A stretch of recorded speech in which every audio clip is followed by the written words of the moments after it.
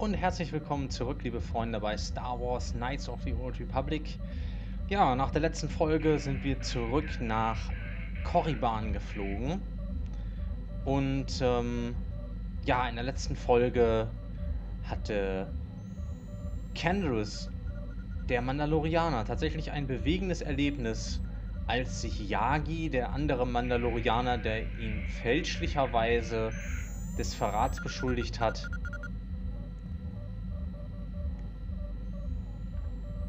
tja, nachdem er, ein, nachdem er seinen Fehler eingesehen hatte, sich selbst ermordet hat. Yagi hat sich das Leben genommen, um seine Ehre wiederherzustellen. Und Candace war daraufhin einfach sprachlos. Und deshalb werden wir ihn jetzt zur Rede stellen und vielleicht. Vielleicht ist was mit ihm passiert. Was glaubst du, Companion Cube? Wie wird er darauf reagieren? I like pushing buttons. Big red buttons. Companion Cube ist beschäftigt, irgendwelche Knöpfe zu drücken. Die großen roten, die die Atomraketen fliegen lassen wahrscheinlich. Oder irgendwelche Knöpfe in unserem Schiff. Das geht ja auch. So, Canderous. Herr Ordo. Wie geht es Ihnen?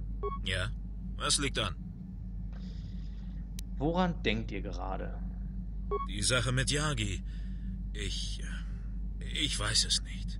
Gebt mir Zeit, dann werde ich etwas dazu sagen können. Wollt ihr sonst noch etwas?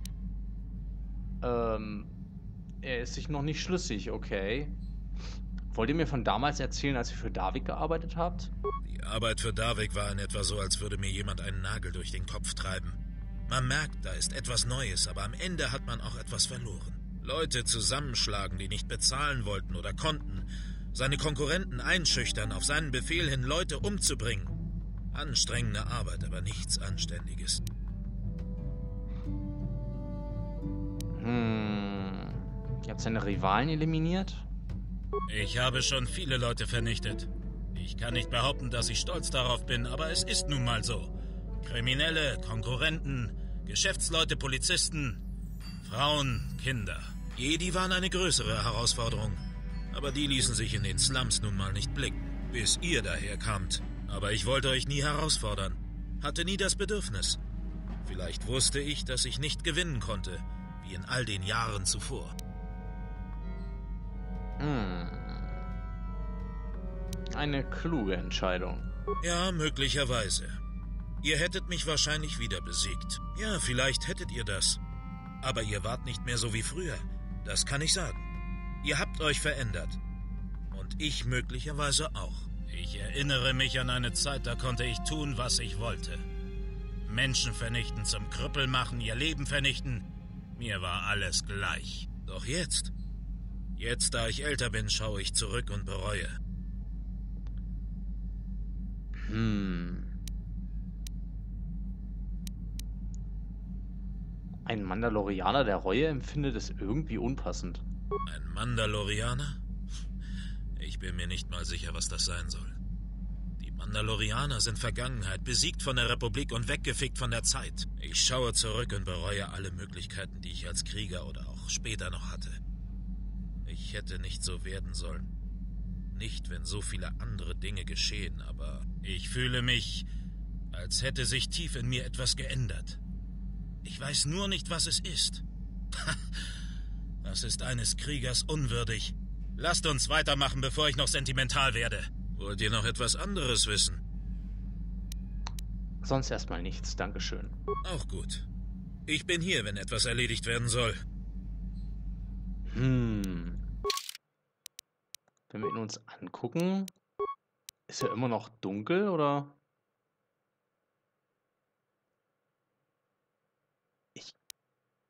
War er vorher dunkler? Geht er jetzt ein bisschen ins Graue rein? Ändert sich sein, sein Alignment so ein bisschen? Kann das sein? Ja. Auch gut. Ich bin hier, wenn etwas erledigt werden soll. Naja gut, dann lassen wir ihm noch ein bisschen Bedenkzeit mit Yagi und so. Mal sehen, was passiert mit ihm. Doch jetzt gehen wir wieder Nach draußen. Warte mal. Wie war denn das?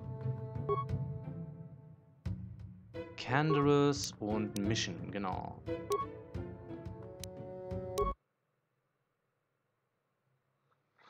Die beiden habe ich hier noch im Repertoire, weil hier noch irgendein Event geschehen soll. Aber ich bin mir nicht sicher, ob wir die Voraussetzungen für das Event schon erfüllt haben. Aber ich behalte Candles und Mission jetzt erstmal bei mir. Und wir gehen weiter. Mensch, so eine kleine Kolonie hier einfach. Aber wir sind bislang noch nicht hier rausgekommen. Wir haben immer was Neues erlebt in den anderen Folgen. Hier war immer was zu tun bislang. So, da hinten ist aber eine Tür aus der Kolonie raus, die wir noch nicht gegangen sind bislang. Und ähm, vielleicht brauchen wir doch eine andere Gruppe. Vielleicht schnappen wir uns mal Jolie. Und ähm, Tja, Juhani vielleicht. Dann haben wir hier ein paar Jedi um uns rum.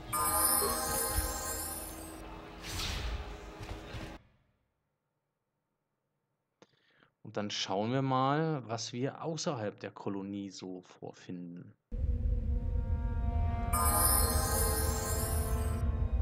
So sieht es hier aus.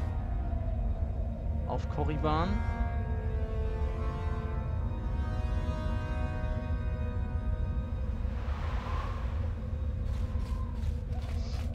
Oh, haben wir hier wieder Kisten.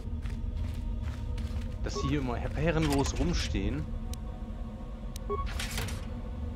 Und wir einfach so irgendwelche Reparaturkits, äh, Reparaturkits plündern können. Hey, Kids. Hey, Reparaturkits. Der Druide hier passt gar nicht auf. Schnauze. Ich nehme, was mir gefällt. So. Tja, liegt hier sonst noch was rum? Gucken wir mal. Hier ist eine Computersonde. Hm. Jolie, du stehst ein bisschen im Weg. Ja? Weißt du? Und ihr braucht... Ich brauche, dass du mir aus dem Weg gehst. Jetzt ist es Shu Horny. Ihr wollt mich doch alle verarschen. Ich kann Ihnen nicht helfen, Bürger. Gehen Sie. Das tue ich, das tue ich. So.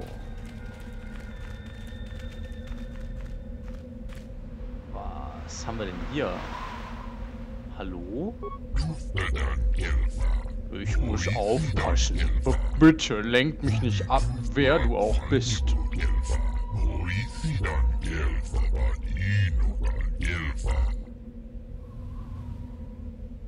Wie bitte? Was macht ihr hier? Ich, ich will beweisen, dass ich würdig bin, in die Akademie aufgenommen zu werden. Man hat uns gesagt, wenn wir lange genug hier stehen, sind wir würdig. Ihr müsst hier einfach nur dumm rumstehen? Wie lange bist du schon hier, Junge? Wir sind schon seit Tagen hier. Ich habe solchen Hunger. Ein paar von uns sind schon gestorben. Aber ich muss stark bleiben. Ich muss. Ich werde hier warten. Ihr bleibt hier, bis ihr sterbt. Nehmt. Ich habe ein wenig Nahrung für euch. Ich... Nein, tu das weg. Ich darf nichts annehmen, hat Mekel gesagt. Er ist der Sith, da drüben. Er beobachtet uns.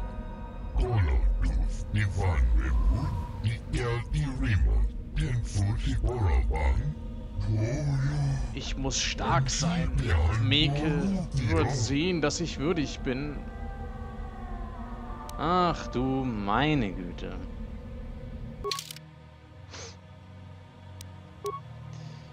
Vielleicht muss man einer ein bisschen Verstand in den reinprügeln. Kaf zum Beispiel. Oder zahlbar. Zahlbar. So, pass mal auf, Junge. Du solltest nach Hause. Oder vielleicht... Ja, ja, komm. Ich muss aufpassen. B bitte lenk mich nicht ab, wer du auch bist. Gehört ihr zu den Sith? Nein, nein, bin ich nicht. Aber ich wünsche mir nichts sehnlicher. D deswegen bin ich hier. Was macht ihr denn?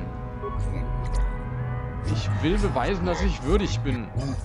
Wir sind schon seit Tagen hier und ich habe solchen Hunger. Ein paar sind schon gestorben.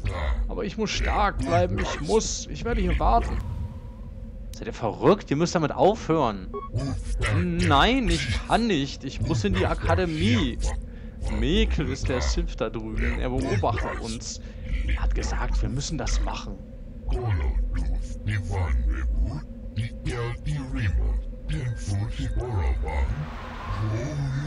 Ich muss stark sein. Mekel wird sehen, dass ich würdig bin. Bald, hoffe ich. Kann ich ihn nicht heimschicken, Mensch? Muss ihn noch heimschicken können. Nochmal.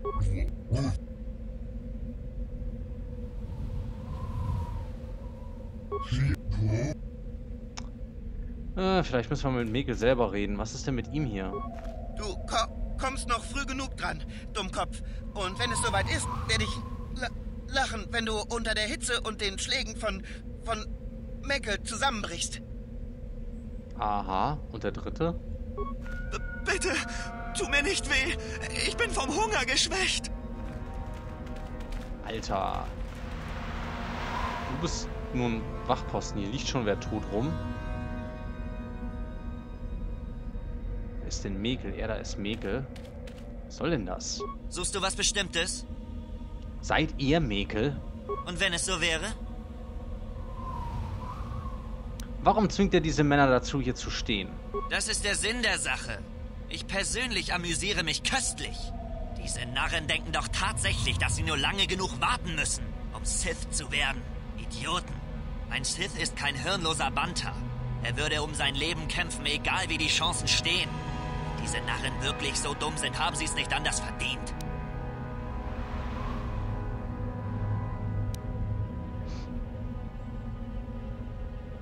Das ist also gar nicht der wirkliche Test für sie. Natürlich ist es ein Test. Wir wollen wissen, ob sie wirklich dumm genug sind zu sterben. Wenn nicht, nehmen wir sie natürlich trotzdem nicht automatisch auf. Ihr solltet nicht mit dem Leben von Leuten spielen. Er schikaniert sie, doch sie wollen werden wie er. Böse und niederträchtig. Ich weiß nicht, ob ich sie retten würde. Hm, es ist ziemlich langweilig, den ganzen Tag hier herumzustehen. Ich gehe jetzt ein Happen essen. Lache über diese Tölpel. Die sind in ein paar Stunden sicher immer noch da. Komm doch mit, bevor ich dich zu ihnen schicke. Tja, Mekel geht jetzt in die Kantine, schätze ich. Wir reden denen das aus hier, komm. Was soll denn das? Du, du hast mit Mekel geredet. Ich hab dich gesehen. Wo ist er hin? Ha, hat er, hat er dir gesagt, ob ich würdig bin? Hm.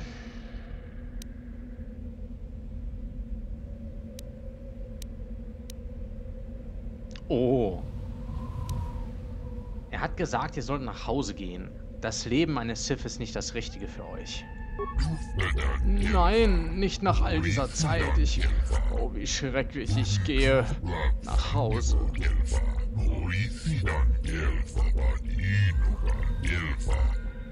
Es war richtig, ihn vom Weg der Sith abzubringen.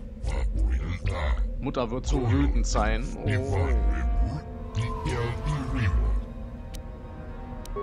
Oh. Und wir haben eine helle Seitepunkt dafür bekommen. Können wir die anderen auch heimschicken? Lass, lass mich in Ruhe. Du kannst mich nicht ma manipulieren. Ich, ich komme in die Akademie.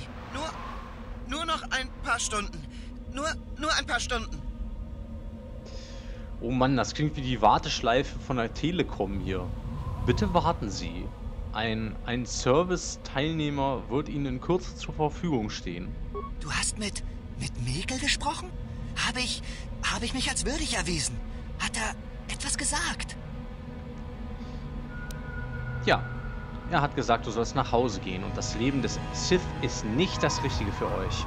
Nach Hause gehen? Ich? ta, ta. Ups. Ja, der ist dahin. Das ist schade.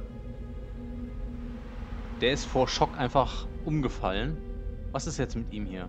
Lass, lass mich in Ruhe. Du kannst mich nicht ma manipulieren. Ich, ich komme in die Akademie. Nur, nur noch ein paar Stunden. Nur, nur ein paar Stunden. Nur ein paar Stunden, nur ein paar Stunden. Ach du meine Güte. So, das sieht so aus, als würde der nicht wieder aufstehen hier. Wie unglücklich. Wir wollten ihn eigentlich retten. So, was hat denn der Wachposten hier? Ihr seid weder ein Schiff, noch tragt ihr das Medaillon eines Studenten. Ich muss euch bitten zu gehen. Die Studenten haben also ein Medaillon. Ah ja. Ich bin Darth Revan. Ich war Lord der Sith. Lasst mich hinein. Ach so. Und wer sind eure Begleiter? Anscheinend glaubt ihr mir nicht. Aber ich bin wirklich Darth Revan. Weg mit euch, Bürger! So viel dazu. Ja, ja, sicher bist du Darth Revan. Ja, aber... Aber ich hab doch mit... Mit... Mit... Ma, mit... Mit Malak gekämpft und dann hat er mir das erzählt. Ja, sicher hat er das. Ihr müsst mir das glauben. Ich habe nur meine Maske verloren und mein Cape. Ja, ja, natürlich hast du das. Warte mal, einen Moment.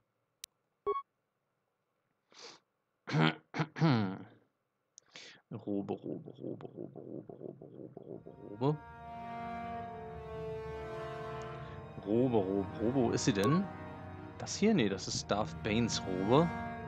Revans Personal Robes. Oder Robe des dunklen Lords. Schwer zu sagen. Hier, schaut. Das ist die Robe von Darth Revan. Ich bin Darth Revan. Ja, ja, geh du mal nach Hause mit deinem Halloween-Kostüm. Was, ihr glaubt mir nicht? Aber natürlich, äh, die Maske, die Maske, die Maske. Einen Moment. Äh.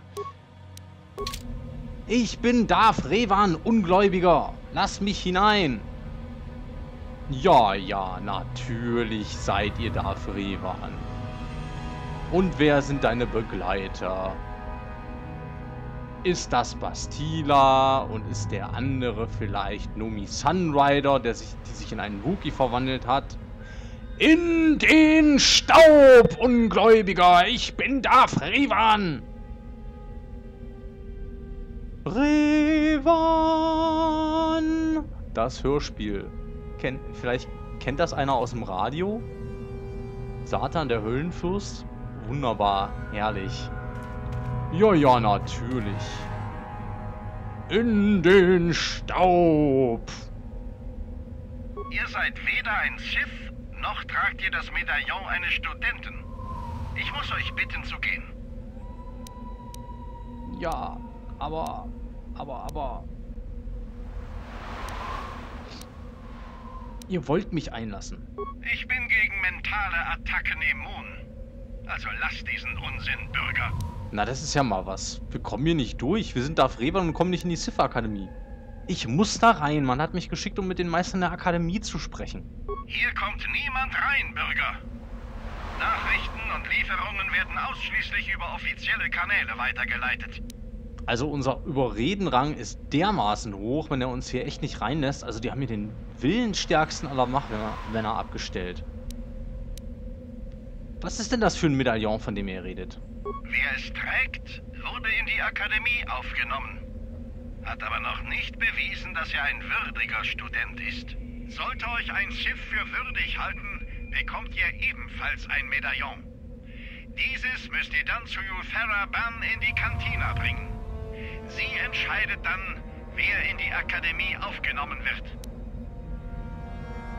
Aha. Wie werde ich zu einem Sith? Ihr müsst in die Akademie aufgenommen werden. Und zwar von einem anderen Sith. Die letzte Entscheidung fällt allerdings Meister Yuthura. Falls ihr sie sprechen wollt, ihr findet sie vermutlich in der Kantina. Und jetzt geht bitte. Hm, ein neuer Tagebucheintrag. Also, worum ging es?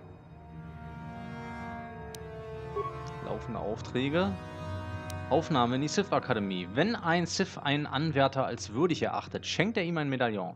Zeige dieses Medaillon Yuthura Ban, der Sith-Meisterin. Sie allein entscheidet über die Aufnahme der Studenten. Du findest Euphora in der Kantina der Kolonie. Vielleicht solltest du nachsehen, ob sie jetzt dort ist. Aha. Das Gespräch mit diesem Wachmann war also der Trigger, damit die in die Kantina kommt. Und da hält sich Mekel ja vermutlich auch auf. Vielleicht bekommen wir von dem einen oder anderen vielleicht ein Medaillon oder vielleicht passiert noch was anderes, dass wir an ein Medaillon kommen. Wenn ich wiederkomme, dann liegen deine Gedärme auf dem Boden. Verstehst du? Die liegen im Staub. Du, da, wo du sie jetzt kriechen solltest, vor deinem Herrn und Meister Darth Revan. Ja, ja, ja, ja. Geh du mal schön in die Kantina und schlaf da deinen Rausch aus. Komischer Typ hier im Halloween-Kostüm. Es wird jeden Tag merkwürdiger, der Job hier Wache zu stehen. Also wirklich. Das ist ja unfassbar. Ja, der macht sich nur über uns lustig. Ich fürchte, da können wir keinen Blumentopf gewinnen. Wir steigen mal wieder in unser schweres Exoskelett. Ja, und ich würde sagen, dann gehen wir wieder dort in die Akademie hinein und schauen tatsächlich mal in die Kantina. Aber das erst in der nächsten Folge. Bis dahin bin ich euer Ben. Bis, bis bald. Tschüss.